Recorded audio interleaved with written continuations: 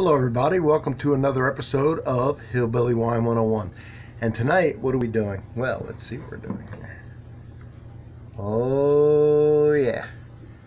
Casillero del Diablo Pinot Grigio 2014 from Chile.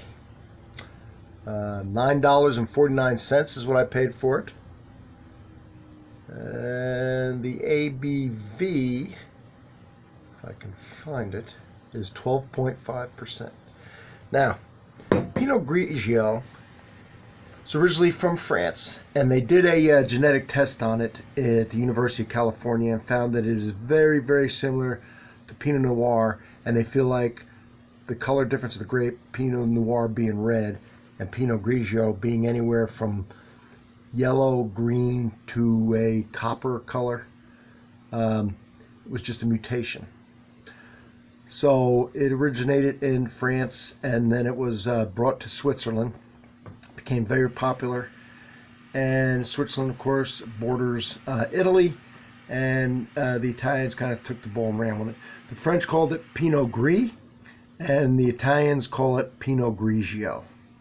Um, it's grown around the world, um, in different places.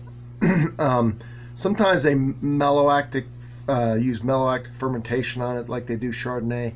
It makes it um, a little more of a uh, oily or thicker mouthfeel, a little smoother, a little buttery. This one is not done that way, so this should be fresh, crisp, really easy to drink. Think of Pinot is kind of easy to drink, and this has no contact with any, you know, any kind of colored skin or anything like that. You know, it's just uh, so there's no um, tannin or anything, no oak aging. Um, it should be fresh and crisp and clean. So uh, let's try it. Pour it. This had a screw cap, uh, which is fine with me. I'll tell you right now, it is very. You can see it up against my white shirt. Very, um, just I mean, a gallon of water and one drop of yellow food coloring. Very pale. Hmm.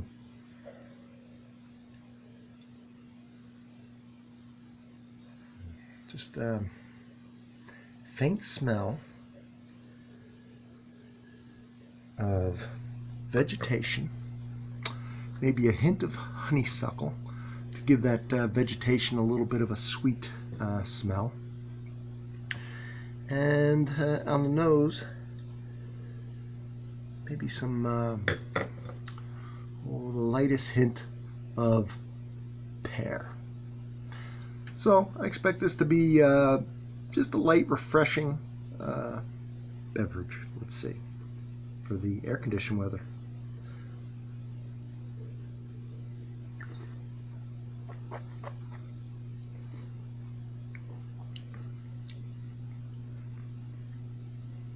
It's dry. Uh, I can feel the acid. Um,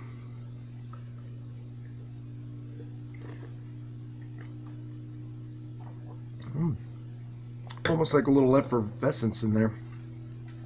Um, the first thing I tasted, and I thought it would be fruit forward because in the warmer climates, that's generally what you taste. But on this one, what's chilly, maybe it was up in the mountains where it was cooler. It's more mineral um, and vegetative and acidic and dry. Uh, very refreshing.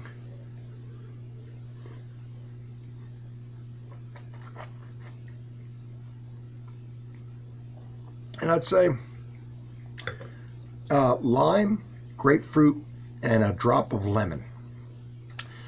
Uh, with the minerality, the minerality, like you drop maybe a stone in here, and a little bit of um, grass or hay with the acid.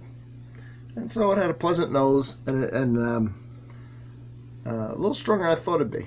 Uh, not strong or nasty, not uh, off-putting to most people, I don't think refreshing, but it had a little more zing than I thought.